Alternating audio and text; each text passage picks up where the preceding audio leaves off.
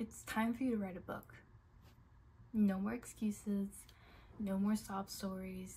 It's time for you to write a book. Writing an entire book can be very scary, yes, but there are so many reasons why you should write one.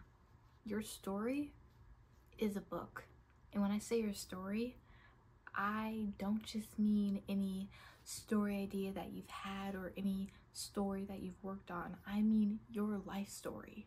Everything you've been through. There you go, book number one. And then when I say write a book, there are so many ways you can take that. You can do a script, you can do a poem book, you can do a book full of short stories, and then, of course, you can do a nonfiction or fiction book. It's all up to what a book means to you. But you should do it. You have it in you. I know you do. Are you one of those people who just writes a bunch of poems all the time?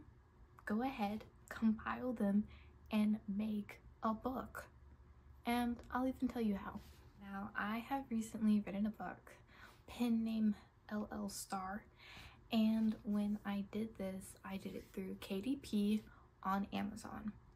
And through there, they really do help self-publishers.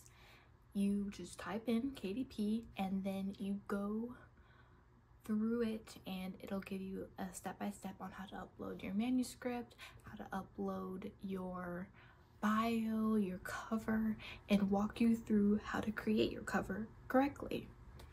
And before I let you go, I just want you to think about the benefits of writing a book. One, you can cross that off your bucket list. And two, money. And if you self-publish it, then you get all of the profits. Well, Amazon gets a little bit, but it's nothing in comparison to what it would be if you teamed up with a publishing company.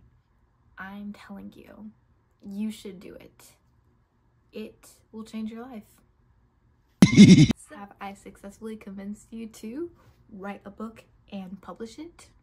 Because if I have, you're in luck because I will give you a whole video on how to self-publish.